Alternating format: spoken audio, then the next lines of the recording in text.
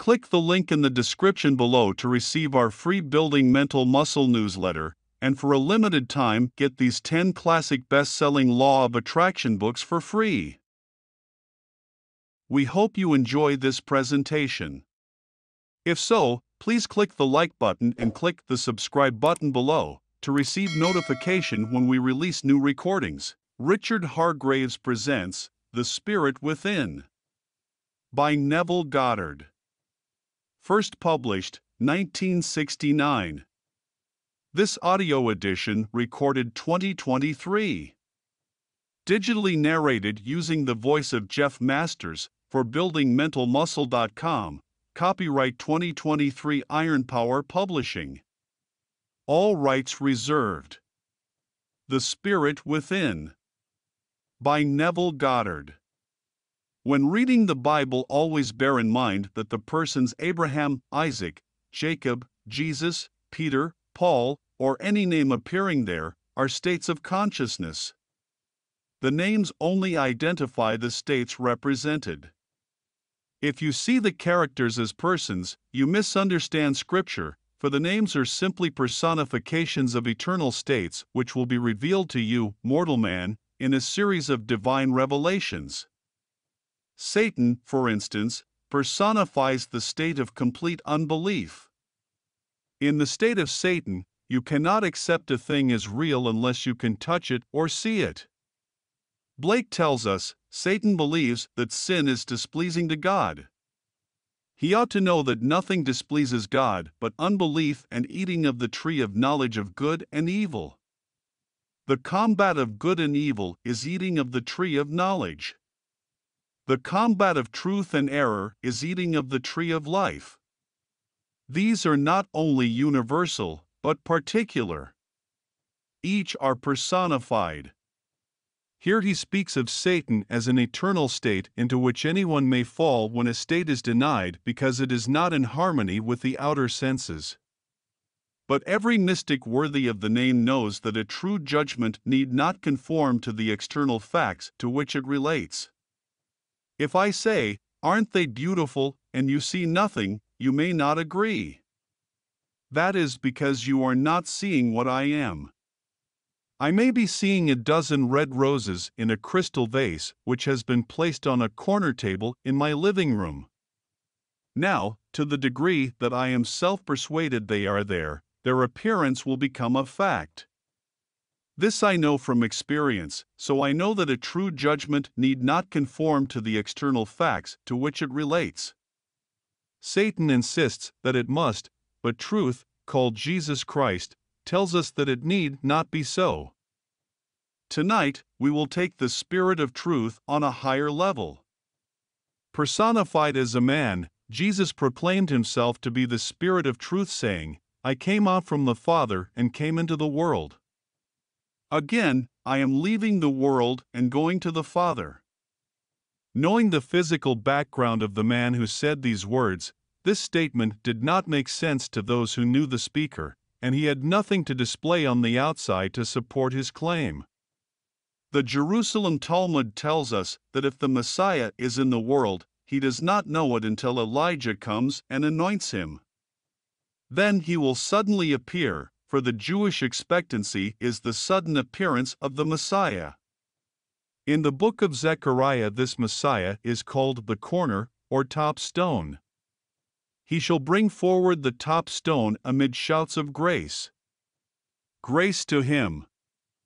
And in the book of John, we read, The law was given through Moses, but grace and truth came through Jesus Christ. Here we see he is the top stone as well as the foundation stone of which there is no other. Now, a foundation stone is hollow, for it contains the plan of the edifice. There must be a plan, a purpose for a building, so in the hollow foundation stone the documents are laid. This structure is the temple of the living God, of which you are. His plan of salvation is buried in your skull, and you are destined to bring forth this plan as grace and truth reveal you to be the one and only Jesus Christ. A lady wrote this week, saying, A week ago last Monday, as I closed my eyes in the silence, I thanked you for once more explaining the law, although I already know all about it, when I heard you say, But do you really know it? Then I realized that I knew it with my surface mind, but did not really believe it in the depths of my being. Suddenly, a pyramid appeared with the top stone missing. A sphere was above the pyramid, peaked by a crown outlined in a scintillating white light. The sphere began to spin, causing everything to become so brilliant I closed my spiritual eyes to return to this level of my being. Since then, I have felt that if my inner eye had been stronger, I would have seen a being emerge from that light. She is right, she would have, but it is not yet time for her to see her true self. Your wonderful skull is the hollowed out foundation stone where Christ is buried. God and His creative power became you, humanity, that you may become as He is, for He is the consciousness of every child born of woman, and in the fullness of time a being will emerge from that stone to know itself to be the light of the world. In the third chapter of the first epistle of John, we read, It does not yet appear what we shall be, but we know that when he appears we shall know him, for we shall be like him. Yes. When God's plan of salvation unfolds itself in you, you will not only be like him, you will be one with him. In order to externalize truth, or error, a man is needed to be its agent, therefore, truth is man. Scripture personifies truth, but man, not realizing this, sees one unique little man and not God's plan. Having unfolded his plan of salvation in a man, God uses that man as his agent to say, I am the way, the truth, and the light. No one comes unto the Father but by me. If you knew me, you would know my Father also, for I and my Father are one. I, the living Word, came into the world to experience Scripture, and I cannot return unto him void, but must accomplish that which I purposed and prosper in the thing for which I was sent. The Old Testament is an adumbration of God's plan of salvation. Written as the history of Israel, it is experienced spiritually by an individual whose physical origin is known, and the world sees the person, but not the state he is conscious of being. They expect the Messiah to be a being external to themselves, to come out of the nowhere and surprise them. But the Messiah is buried in that hollowed foundation stone which is the skull of man. He does come suddenly, for when it is his time to awaken, everything said of Jesus Christ in Scripture unfolds in you, in a first person singular, present tense experience. Then you tell your friends about your experiences, and they smile as they shake their heads, for they know your parents, your weaknesses, and your failures, and cannot believe you have fulfilled the Old Testament. Although I read the statement in the 40th Psalm, in the volume of the book It Is All About Me, I did not know it to be true until the Spirit of truth awakened in me. Now I tell my brothers that I am departing this world and going to my Father and your Father, to my God and your God, because I know that we are all one. The one God in a diversified state appears as many, but it takes the many to form the one God. Hear, O Israel, the Lord, our God, the Lord is one. When you read Scripture, always remember that every word has a meaning. The word Zechariah means Jehovah remembers. In the state of Zechariah, you remember your promise to Israel, for the word Israel means to rule as God remembering you don't rule as a little godlike tyrant of the world, but as God Himself. You must forget the concept of Jesus Christ as a little man external to yourself, for it is Christ in you who is your hope of glory.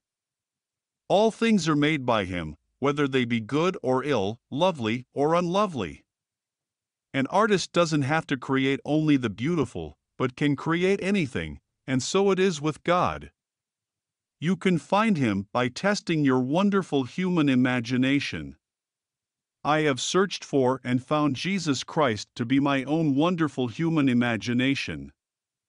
I now know that everything in my world was first imagined by me. I may not always remember the imaginal act relative to the unlovely things I have experienced, but I have imagined and watched its fulfillment in my world. I know that although I may not remember the imaginal act, I must have committed it, for I cannot reap that which I have not sown. In the second chapter of the book of Jeremiah, the Lord said, I planted you a pure seed, O Israel. How did you become degenerate? I will tell you how. By going after foreign gods, by worshipping the gods of astrology, numerology, wealth, or so called important people. By believing in things on the outside and seeing other causes for the phenomena of your life and not the only cause, who is God, your own wonderful human imagination, whose name is I Am. One day you will awaken to discover that you are the one and only God. But you aren't going to rob anyone, for it takes all your brothers, together, to form the one pyramid, and when this is accomplished, the top stone will be put in place. Now a lady wrote, saying, This dream disturbs me greatly. In the dream, I entered an exquisite jewelry store and picked up many items, among which was a beautiful green gem. Then I left without paying for the articles I took. On this level, I would never do such a thing and cannot understand why I would do it there. My dear, you should be thrilled because you did it. On this level, you are eating of the tree of knowledge of good and evil, but you are way beyond this tree, for you are now eating of the tree of life by fulfilling the 50th Psalm. If I were hungry, I would not tell you, for the world is mine and all within it. If everything is yours, whose permission do you need to take it? As an incurrent eyewitness, you do not function here save when you open your mortal eyes. In this world of good and evil, you would never go to Tiffany's and walk out without paying for your purchases, but as the Spirit of truth, you are feasting upon the tree of truth and error in the world that is yours. In that world, there is no need to ask permission of anyone to take anything you desire. Man's real hunger is not for bread alone, but for the Word of God to fulfill itself in him, as Amos was told, I will send a hunger upon you. It will not be for bread or a thirst for water, but for the hearing of the word of God. Her hunger was represented by the green stone, green being that which is growing, like the tree of life. My dear, you are blessed for having such a dream. No one would ever agree with another as to what is right and what is wrong, for we all have different values. What is right to one is wrong to another. We came down into the world of death because we ate of the tree of knowledge of good and evil, and we are told that the only thing that displeases God is the eating of that tree and unbelief. If you think another is the cause of your misfortune, you are sinning and missing your mark in life. There is only one cause for all of the phenomena of your life, and that is God, whose eternal name is I Am. When you really believe this, you will not deny the harvest you are reaping. It may be unpleasant, but you will know that it couldn't happen unless you sowed it, so accept your harvest and then plant something lovely in its place. Never deny that one and only cause, which is your own wonderful human imagination.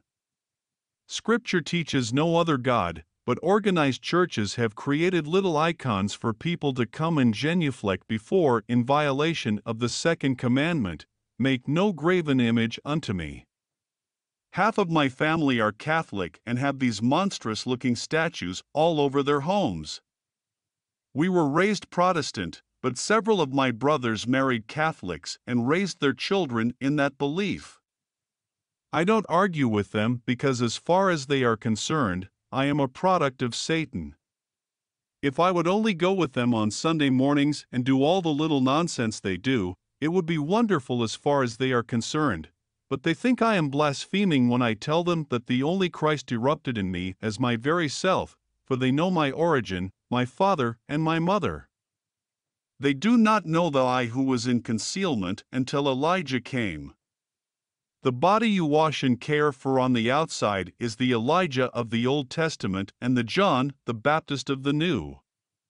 Coming into the world by assuming a garment of hair, man has made every effort to attain salvation by physical means, like doing violence against its appetite.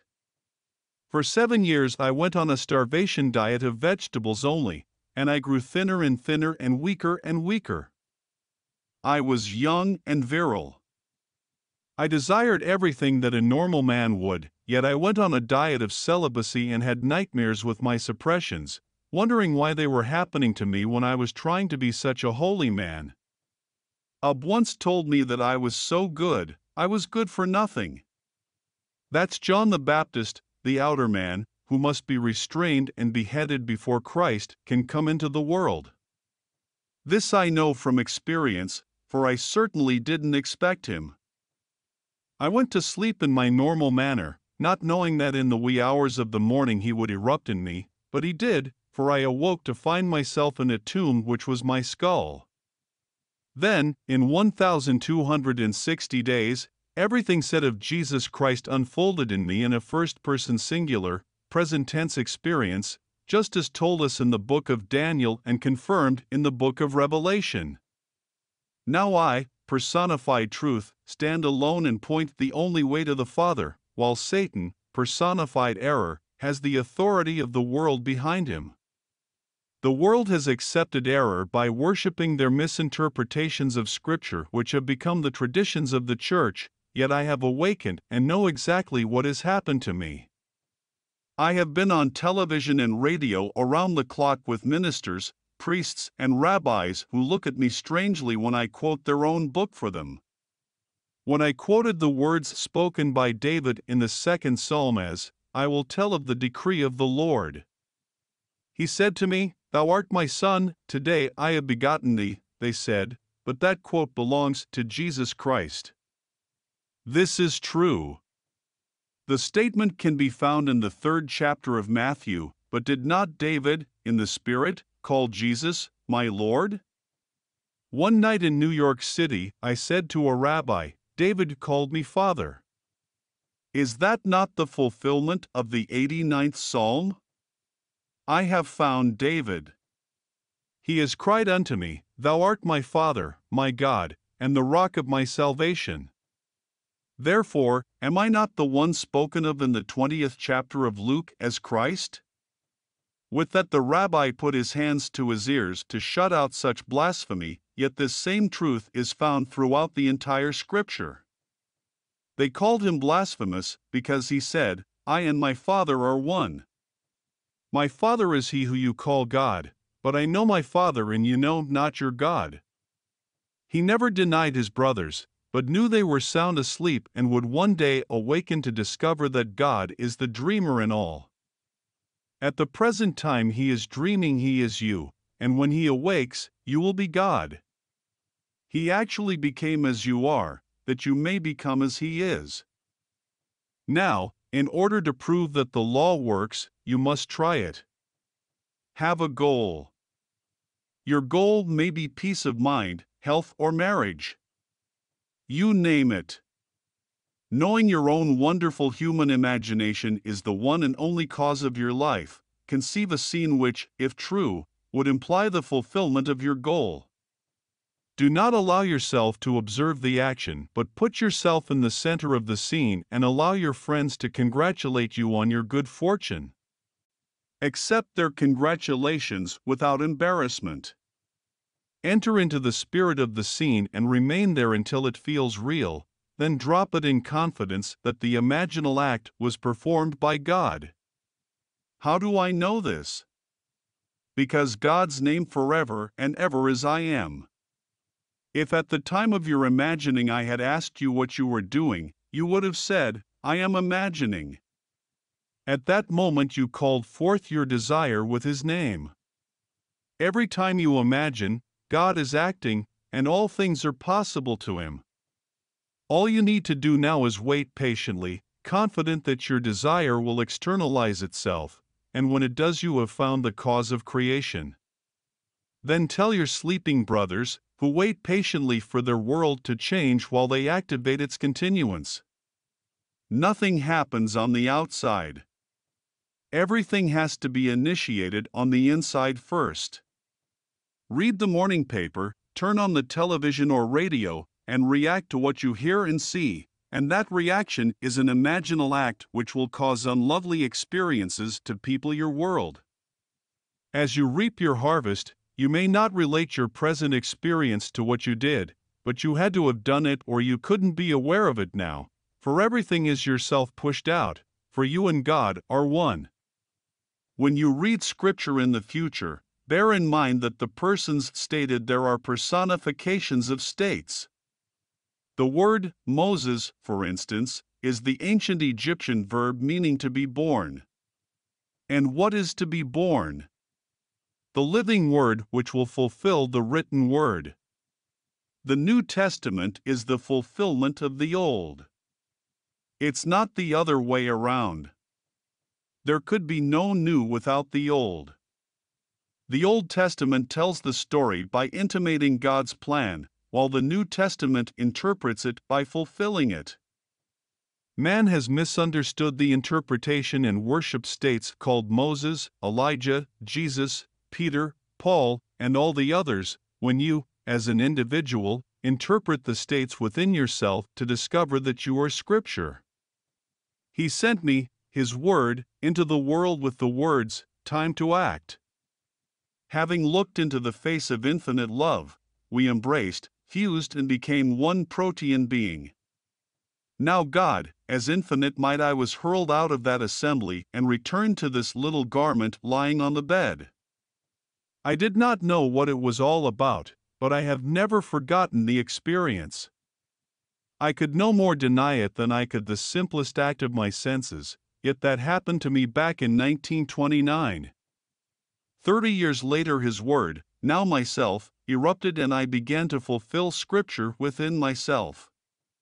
Now I tell it to those who will listen, knowing that no one comes unto me save my Father calls him. He draws you, one by one, to hear his unfolded word. Of those who come, some believe and some disbelieve, as indicated through your visions. Now I am departing this world, not to a restored society like this, but to return to the body of the risen Lord, knowing myself to be one with the one body, one Spirit, one Lord, one God and Father of all. Now let us go into the silence. End of lecture. If you enjoyed listening to this recording, please click the like button and click the subscribe button below to receive notification when we release new recordings. Click the link in the description below to receive our free Building Mental Muscle newsletter, and for a limited time, get these 10 classic best selling Law of Attraction books for free.